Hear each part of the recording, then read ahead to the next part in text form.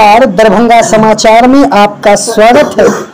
बिहार की इतिहास में पहली बार मिथिला की धरती पर अखिल भारतीय विद्यार्थी परिषद के छात्र संसद का आयोजित आज कामेश्वर सिंह संस्कृत विश्वविद्यालय के दरबार हॉल में किया गया। डब्ल्यूआईटी की शुरुआती स्थिति को आगे भी बहाल रखने के विषय में मिथिला की बेटी डब्ल्यूआईटी को बचाने के क्रम में आगे आई है। तो आइए इस पर सुनते हैं। वहाँ के छात्रों ने क्या कहा? भारतीय विद्यार्थी परिषद द्वारा दरभंगा में स्थित डब्ल्यू संस्थान को लोको एजुकेशन में तब्दील करने की बात विश्वविद्यालय प्रशासन द्वारा किया जा रहा है। उसी पे दरभंगा छात्रा दरभंगा के अखिल भारतीय विद्यार्थी परिषद छात्राओं के द्वारा छात्रा संसद का आयोजन किया गया। है क्या इसमें क्या निर्णय हुआ? इसमें निर्णय लिया गया है कि जो विश्वविद्यालय प्रशासन द्वारा घृणित प्रयास किया एजुकेशन में तब्दील कर दिया जाए डब्ल्यू को वो W I T W I T से डब्ल्यू नहीं हटेगा बल्कि इसे और आगे बढ़ाने की बात है। डब्ल्यू आई टी को हम आई जैसे दक्षता हासिल कर इसके लिए क्या विश्वविद्यालय प्रशासन को आप लोग अपना मेमोरेंडम देंगे उससे जी बिल्कुल हम लोग विश्वविद्यालय प्रशासन को देंगे। अगर इससे भी नहीं होता है तो हम लोग प्रदेश के मंत्री शिक्षा मंत्री वहाँ तक पहुँचेंगे। लेकिन डब्ल्यू आई टी में से डब्ल्यू को नहीं हटाने देंगे को एजुकेशन में तब्दील डब्ल्यू आई टी को नहीं होने देंगे। नाम बताया जाए। पूजा कश्यप प्रदेश मंत्री अखिल भारतीय विद्यार्थी परिषद बिहार प्रदेश। एडजस्ट करना सीख ले कि हम क्यों नहीं उनके कंपेरिजन में रहे? क्यों हम लोग अपना एक अलग समाज बनाना चाहते हैं? अगर हम लोग उसका सामना नहीं कर पाएँगे तो वो लोग समझेंगे कि हम बहुत कमज़ोर हैं। अगर हम उनके साथ में रह के उनके सपोर्ट में रह के उनके साथ कंपटीशन करेंगे तब हमें पता चलेगा कि हमारा क्या रिस्पेक्ट है सोसाइटी में। तो ये बहुत ज़रूरी है कि मेल्स और फीमेल्स दोनों होने चाहिए। आपके नज़र में डब्ल्यू को को एजुकेशन होना चाहिए। हाँ होना चाहिए। नाम बताइए।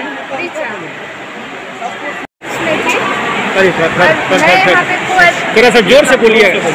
मैं अखिल भारतीय विद्यार्थी परिषद के द्वारा आयोजित इस छात्रा संसद में पक्ष के दल से नेता के तौर पे भूमिका निभा रही थी। और इस कार्यक्रम के तहत हमारा मोटो था कि जो इसकी रूट प्रॉब्लम है, उसको उजागर किया जाए। एक जो बेतुकी बातें कर रही हैं कि उसको को एजुकेशन में ट्रांसफ़र कर दे, क्या को एजुकेशन ट्रांस में ट्रांसफ़र कर देने से जो उसकी मूलभूत परेशानियाँ हैं, वो दूर हो जाएगी?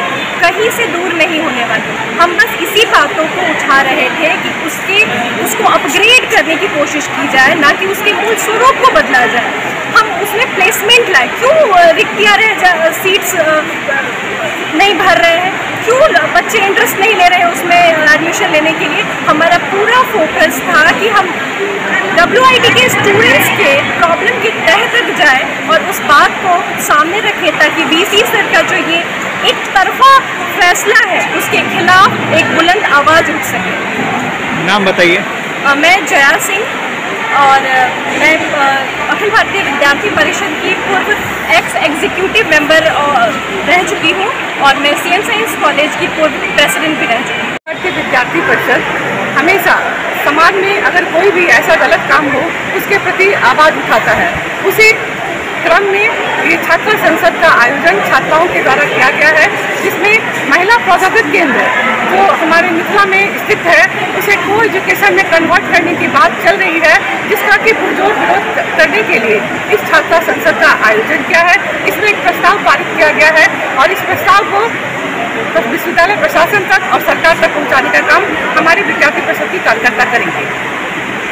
अच्छा मैंने एक बार बताइए आज जो छात्रा संसद का ये आयोजन किया गया जानकारी के मतलब बिहार में ये पहला ये आयोजन है।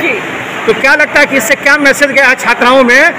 और क्या इससे फ़ायदा होगा खास करके छात्राओं की अगर बात करें तो इससे एक मैसेज गया है समाज में कि अब छात्राएँ बदल रही हैं महिलाएँ बदल रही हैं महिलाएँ सशक्त हो रही हैं और अगर उनके सम्मान को रौंदा जाएगा तो वो उसके खिलाफ आवाज़ अवश्य उठाएगी सरकार भी कहती है कि 33 परसेंट आरक्षण मिला है महिलाओं को हाँ। लेकिन जो बिहार की स्थिति है आप देख रहे हैं हाँ। तो उसमें क्या लगता है कि वो सरकार का जो ये निर्णय है उसमें कहाँ तक ये छात्रा संसद जो है सो सफल होगा बिल्कुल अवश्य सफल होगा।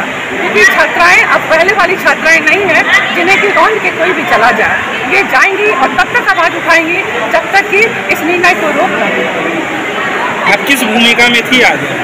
आज मैं सभापति की भूमिका में थी। आज के बैठक से क्या लगा आपको? आज की बैठक से मैं बहुत खुश हूँ कि हमारी छात्राएँ बहुत सजग हैं जागरूक हो चुकी हैं और अब इनका मार्ग कोई भी नहीं रोक सकता है। नाम नाम बताया जाए मेरा नाम डॉक्टर पूनम सिंह। अखिल भारतीय विद्यार्थी परिषद की पूर्व प्रदेश अध्यक्ष अभी राष्ट्रीय कार्यकारिणी की सदस्य हूँ और मनोविज्ञान विभाग में प्रोफेसर भी